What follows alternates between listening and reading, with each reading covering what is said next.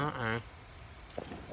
The little pyromaniac goblin in my brain has, uh, caused something. Silly salami, this is how you bake salami. Uh-oh. Uh-oh, don't do this, don't... Oh, it's crispy, it's crispy, oh, oh, it's crispy, it's crispy. It's crispy, oh no. Let's do something.